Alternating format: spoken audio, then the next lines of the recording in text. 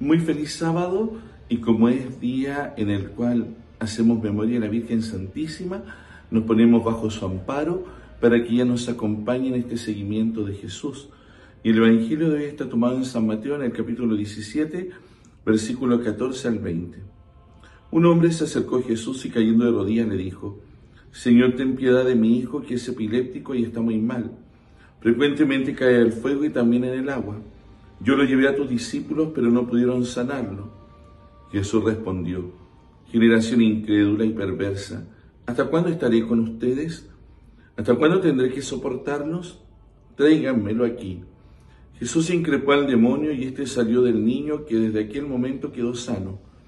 Los discípulos se acercaron entonces a Jesús y le preguntaron en privado, ¿por qué nosotros no pudimos expulsarlo? Porque ustedes tienen poca fe, les dijo. Les aseguro que si tuvieran fe del tamaño de un grano de mostaza, dirían a esta montaña, trasládate de aquí a allá, y la montaña se trasladaría. Y de nada sería, y nada sería imposible para ustedes. Palabra del Señor.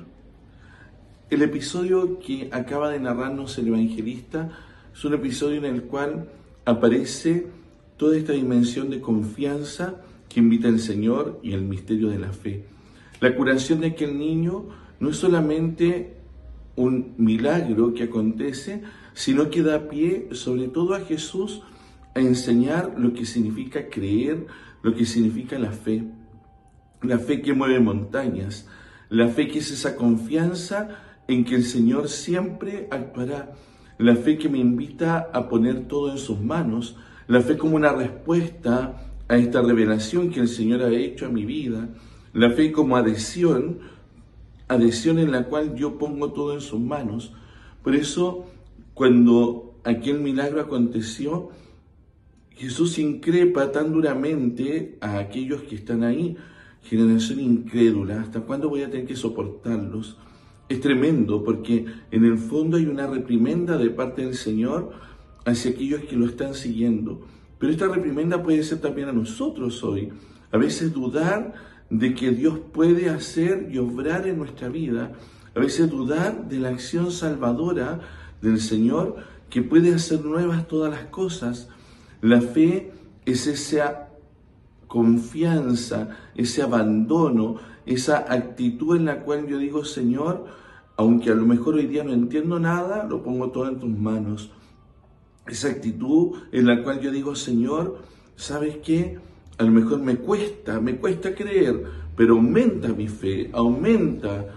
A lo mejor de repente me siento flaqueando allí y le pido al Señor que me sostenga, que me dé esa gracia y me uno a otros para que también me ayuden a sostenerme en la fe. Por eso en este día cuando escuchamos el Evangelio, que el Señor nos dé sobre todo esa perseverancia del día a día, que nos dé ese corazón que siempre está dispuesto ahí a confiar, que sea un corazón como el de la Santísima Virgen, abierto a Dios. Ella fue la mujer creyente, ella fue la mujer que le dijo sí al Señor. Ella es dichosa porque puso todo en sus manos, en las manos de aquel que sabía que nunca la iba a abandonar.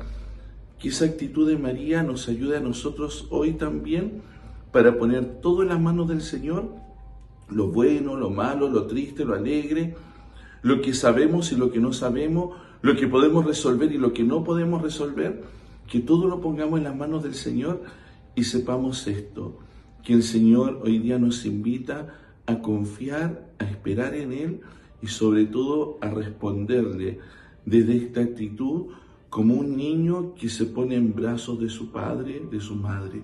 Que el Señor nos dé esa fortaleza hoy y pidamos la fe con insistencia.